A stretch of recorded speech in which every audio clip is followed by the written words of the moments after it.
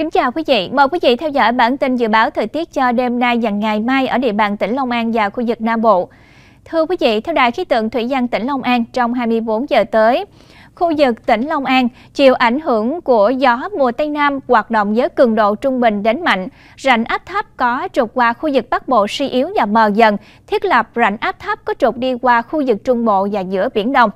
Sau đây là phần dự báo chi tiết cho tỉnh Long An.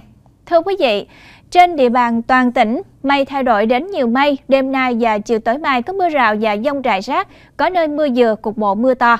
Trong cơn dông đề phòng gió giật mạnh, lốc xét, ngày nắng gián đoạn.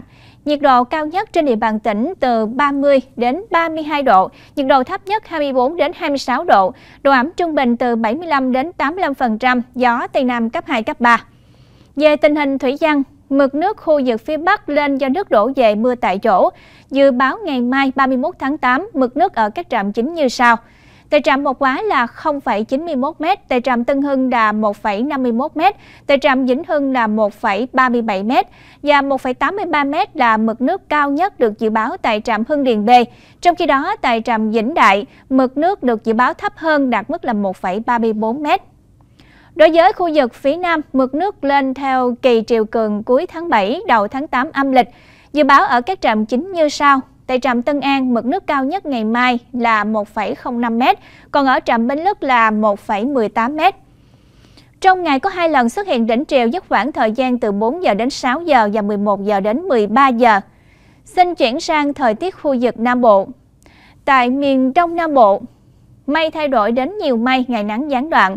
Đêm và chiều tối có mưa rào và rải rác mưa dừa và dông, có nơi mưa to, cục bộ có mưa rất to. Trong cơn dông đề phòng gió giật mạnh, lốc xét và mưa đá. Nhiệt độ thấp nhất từ 23 đến 25 độ, nhiệt độ cao nhất 31 đến 33 độ, gió Tây Nam cấp 2, cấp 3. Đối với miền Tây Nam Bộ, khu vực này ngày cũng nắng gián đoạn, đêm và chiều tối cũng có mưa rào, rải rác mưa dừa và dông, có nơi mưa to, cục bộ có mưa rất to. Trong cơn dông quý vị cũng cần đề phòng gió giật mạnh, lốc xét và mưa đá.